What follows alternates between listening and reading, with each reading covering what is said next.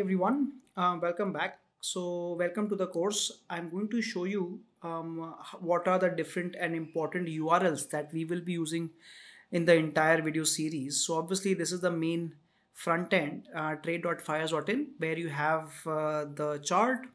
Um, on the right side you have the what list and at the bottom you have your positions orders all positions holdings your total funds all that information. And obviously you can uh, click all these different icons here to get more information about the portal itself. So that's the basics. Uh, in case you have not opened the account you can go to fyers.in to open an account. The next very important part is the community. So fyers.in slash community this is a very important thing. You can create a login here and sign up.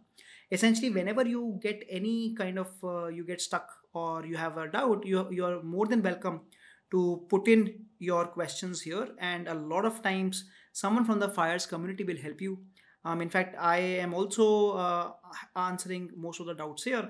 So you can just put in your doubts here and we'll help you. Um, so whenever you have a doubt you can see here someone was getting some error and someone from the team would quickly uh, help and and uh, with, with the with the actual solution but now let's come to the more important part. The important part is the documentation. So in the entire series, I'm going to keep using this documentation. So how you go to this documentation is go to myapi.fyers.in and then click on V3 docs. So currently we are on, on version 3 and um, it's a very detailed documentation. In fact, most of the codes that I've taken are from here.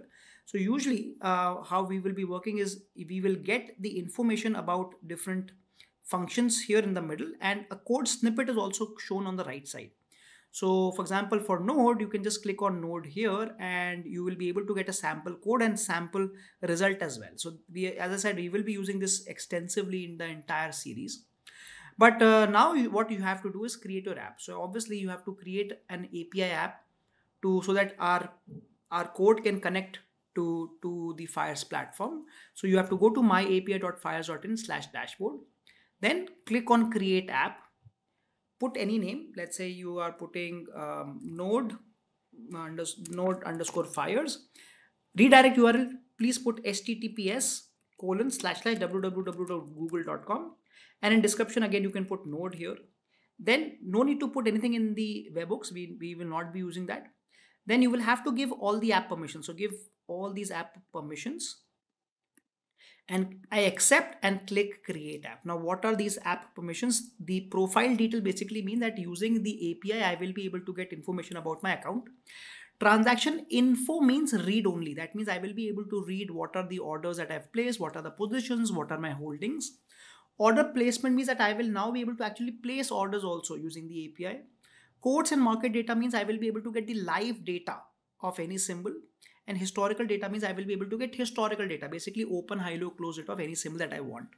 So once you create the app, you will see that it will probably take about five seconds and your app will be created right at the bottom. I have other apps also, but this is a new app that I've just created in front of you. And the important points will be the app ID here and the secret ID. The, we will be using them um, in during our coding part. Um, also remember that right now it is showing act, inactive. I mean, it's, it's this is active. My my old API, this is inactive right now. It's not does not have a green button.